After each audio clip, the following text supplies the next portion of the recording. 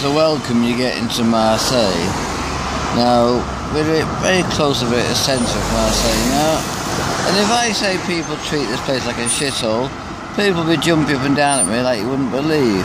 Well, there's some we said, but just look at all that rubbish over there. Yeah, there's tons of rubbish just there, and it's all beside the wall up there as well. So people just throw the rubbish outside. So saying it's a shithole is probably an underestimated statement because all the way along I've been seeing rubbish. And if you look down even here, just by the barrier, there's all rubbish underneath there. It's been like this all the way, and it's here, over here too, you see it. Everywhere you look, there's absolute rubbish. Just take a look underneath that barrier and you just see. And it's been like this all the way along the centre reservoir. This on the main road is full of it. Rubbish, there's blue in the tree over there, blue pack I can see. There's all this rubbish down here. It's in the trees over there. You can see the white bit down there. See there, the tree. It's over there.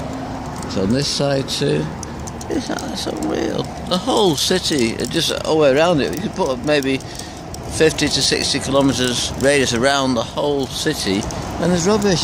It's everywhere. It's a shithole. Um, you know, you can't tell me no different. If you do, well, come and I'll show you. If you don't believe me, anytime you want, I'll show you. It's over there. The rubbish is dumped there. It's all down here. See ya. You can't bloody move for it. Shit all along there.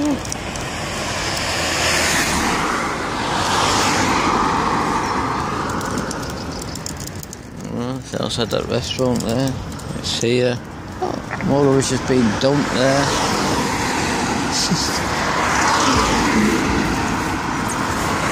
well, there you are. So there's a video for you.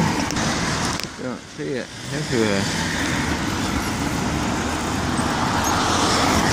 I'd like to remind you, if you see more, this is the second largest city in France. Yeah. This is broken glass everything else over from cars over there. It's absolutely... Oh well.